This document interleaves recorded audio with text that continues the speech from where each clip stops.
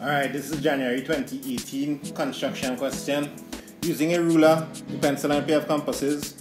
Ruler, pencil, compass, no protractor. Use your protractor as a guide, but don't let them know.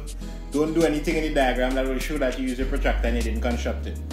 Construct triangle PQR with PQ is 8 cm, PQR is 120, and QR is 50 is 5. Alright, so the first thing in doing all these questions is draw a sketch.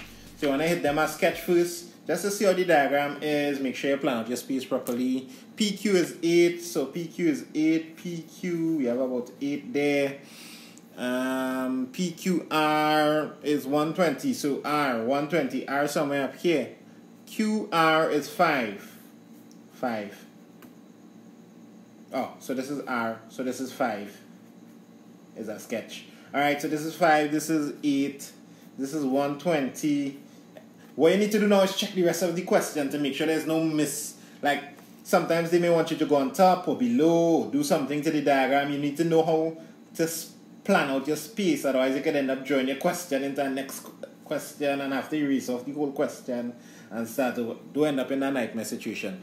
So let's see what's next. Part 2 measure and see the length of PR. So we'll have to take a ruler and measure that.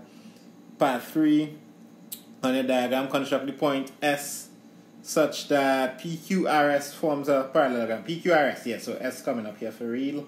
And you have a parallelogram. So on, that's it. End of the question. Seven marks. Wait, Israel marks are pretty simple construction question, boy. January, this was like a one easy question. Alright, so PQRS. Mm-hmm. Sketch finish. Time to put on the real thing. Alright, let's go. First thing you need to do is draw a baseline.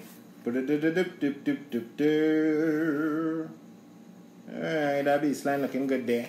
Next up, you need to select a point. We'll call that P. Once again, if you hear any child screaming, that's my son in the background. He's okay. Don't call CPS. Alright, so um, next up, this needs to go to 8. Now, you can take a ruler, measure 8 here and go 8 there. And make a little small little dot. Just to make sure you know that you come out as 8. But what the examiners will be looking for my friend, where is my compass? What the examiners will be looking for is an arc on the 8. So after you make your dot where the 8 should be, you could come and make your arc on it. What you're really supposed to do is come at the 0 point here, where 0 is on the ruler, scroll this all the way up to 8, and then come and make a point here. And that is going to represent point Q according to our sketch. Next up, darken that with your dark pencil or however it is you're darkening it. So that's PQ. All we need now is QR going up 5 centimeters. So what we're going to need is our, our 120 going this way. Now there are two ways to construct 120. You can either construct a 60 coming from this side. Can you see it? Or you can actually construct the 120 by making a, six, a, a 60 and then a next 60 there whatever floats your boat. I feel I will just construct the 60 on one side, yes, because you know 60 and 120 makes 180. So that's going to be my first arc. Then I'm going to come here, put down a next arc on them. Bow. And that's it. Now I come with my light pencil. The red here represents a light pencil or your construction lines. And I do like that and next I want 5 centimeters. We're going good we're going good.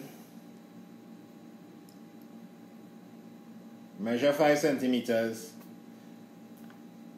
Make an arc where 5 centimeters should be. Verify that I didn't do stupidness. Come with your dark pencil and wet them that darkness there man. PQR Good to go. You done collect real marks for that performance there already. Alright, so it's a triangle, so we need to connect P and R. No biggie. Let me connect P and R. P and R connected. Now it's important that you put in your dimensions, so I might as well write 8 cm here. I might as well write 5 cm here. Beautiful. Oh, okay, so now the access to measure and see the length of PR. Time for the ruler to shine. PR looks like 11.5, man. 11.5. So I'll write PR is equal to 11.5 centimeters. So that's part two. Next up on your diagram, construct the point S such that PQRS forms a parallelogram. Well, that's simple. If we need to construct a point S that it forms a parallelogram, parallelogram have two equal sides, two parallel sides. Two equal sides, two pairs of equal and parallel sides. Yeah. So what we need to do here is come from P to Q, get back that length, which was 8.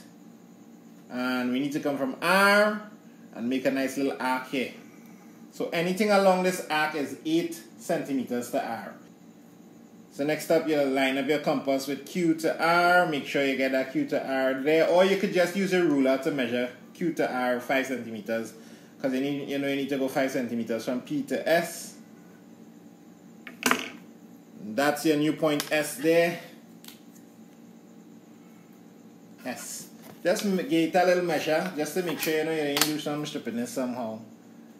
Yeah, that looks like about 5 and here that looks about it so PQRS on the diagram construct the point S such that PQRS forms a parallelogram so technically this should get the mark because they just said to construct a point S such that it forms a parallelogram but let's not be technical with the examiners let's go and construct this parallelogram and call that George